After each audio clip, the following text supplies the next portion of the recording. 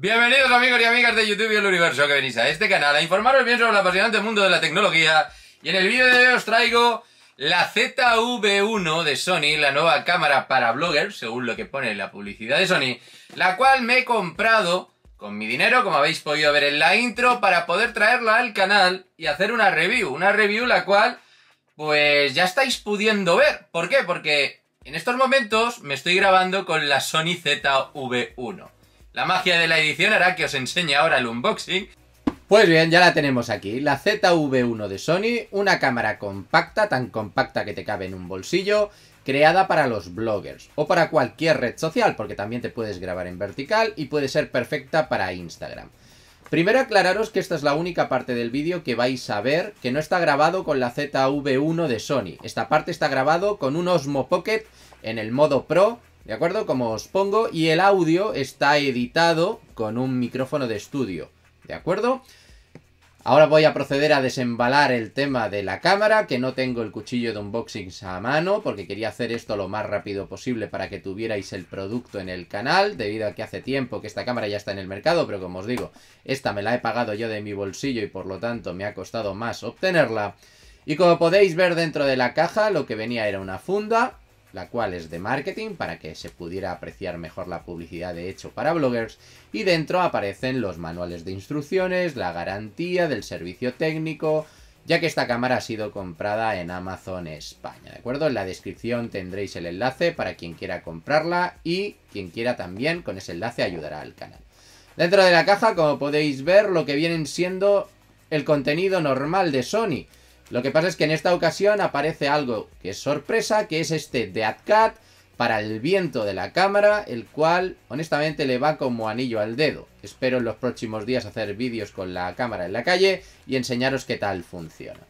Viene también un cable micro USB para conectarlo al ordenador. Como podéis ver, un cable bastante básico.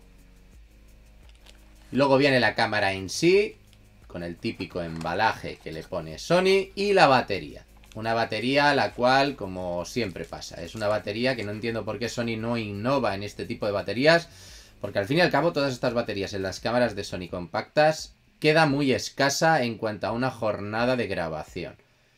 No creo que en esta cámara haga milagros y ya veremos en la review de la cámara más a fondo qué tal se comporta. Y aquí tenéis la cámara en sí. Una cámara extremadamente compacta, en esto sí que hay que darle la razón a Sony. Puede ser perfecta para bloguear porque es que te cabe en un bolsillo. Con unos acabados bastante curiosos, buenos.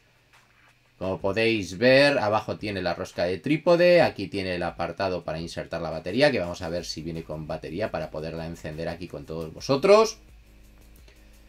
Y el tacto en la mano es bastante agradable, sobre todo por el tema del grip.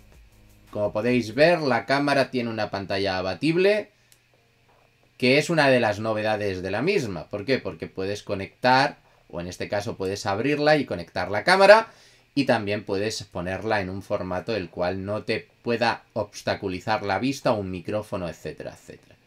Sin más dilación, voy a saltarme el paso de la configuración, ¿ok? Y pasaré a hablaros de mis opiniones al respecto de la cámara en estos primeros momentos.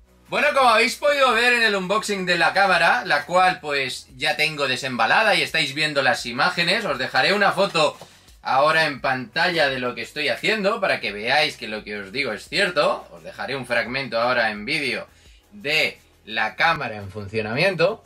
Como podéis ver aquí, esta es la cámara en funcionamiento grabada con mi iPhone. ¿Ok? Encima de mi Alpha 6400, una cámara que es la que yo normalmente uso aquí dentro del estudio para poder controlar unas condiciones de luz pues que realmente son limitadas, porque esta es una habitación bastante oscura, sin luz natural, con muchas luces artificiales, las cuales pues dan esta calidad de imagen. Vaya de antemano que yo esta cámara la voy a comparar con muchos otros modelos de aquí en adelante y por lo tanto os recomiendo que suscribáis al canal, le deis a la campanita y que me pongáis en la descripción con qué cámaras queréis que la compare. Si con la queréis que la compare con el iPhone, con el Osmo Pocket que tengo por aquí, con cámaras como la Sony Alpha 6400, que son las que tengo más a mano, ¿de acuerdo? ¿Para qué? Para que todo el mundo pueda comprobar si la calidad que vende Sony en su publicidad es cierta. Una cámara que pueda hacer que sea la única cámara que puedas utilizar desde el punto de vista de usuario para redes sociales, YouTube y también si me fuerzas si eres streamer, porque dentro de poco a esta cámara le vendrá una actualización para que tenga un modo webcam. Un modo webcam el cual se puede pues obtener a día de hoy con una conexión USB, con una capturadora, pero que dentro de poco con una actualización de software también la cámara podrá hacer esas virtudes de webcam, con lo cual será también una magnífica webcam, según lo que promete Sony, ¿ok? Antes de irme en el vídeo de hoy, como quiero que sean unas primeras impresiones, que ahora estáis viendo la calidad, el audio, etcétera, etcétera, todo sacado de la caja, todo en automático, etcétera, etcétera. Lo que quiero hablaros es de el tema de los puntos flojos que le he podido encontrar a la cámara en el poco rato que llevo manejando con ella, ¿de acuerdo? El primer punto flojo que le he encontrado es el tema de la colocación de la batería y la tarjeta SD. Para poder manejar la cámara en un trípode, como estáis pudiendo ver ahora, hay que sacarle el, tema de la tarjeta SD de debajo y hay que quitarla del trípode, por lo tanto es bastante incómodo. Con lo cual, una de las primeras cosas que yo entiendo que Sony debería haber hecho en esta cámara que no ha hecho es pensar un poco en la ubicación de su tarjeta de memoria. El segundo problema que le estoy viendo es el tema de la batería.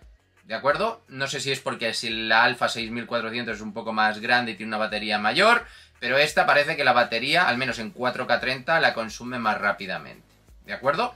Eso es otro punto que lo estoy notando nada más acabar de sacarla de la caja. Con lo cual, a lo largo del tiempo, intentaré averiguar más al respecto de estos puntos y daros más información.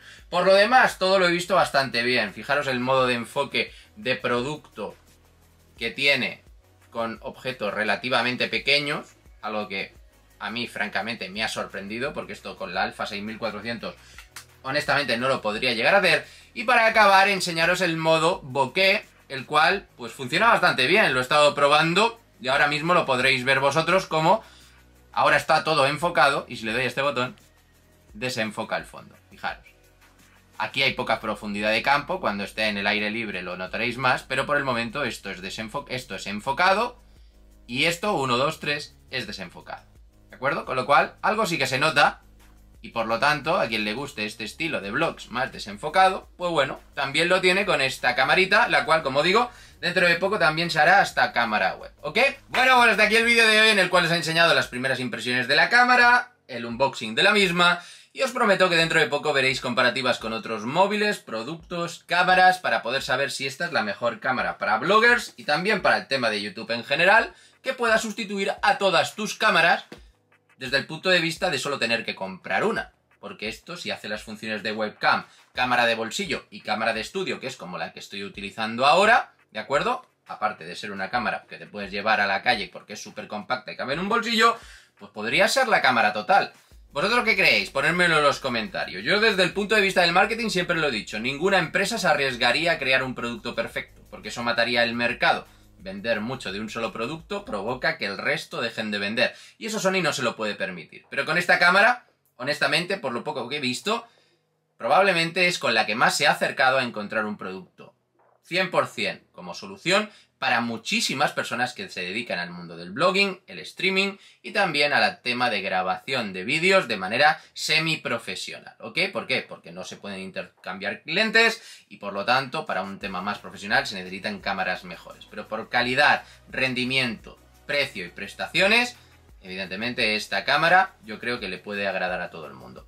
Os dejaré en la descripción la cámara en la oferta que he encontrado en Amazon para que todo el mundo que la quiera la pueda comprar. Y yo para mañana o para luego os prometo traer otro nuevo vídeo que nos separe de esta locura YouTube, la cual este video que a veces nos dejan ver la realidad. ¡Hasta la próxima!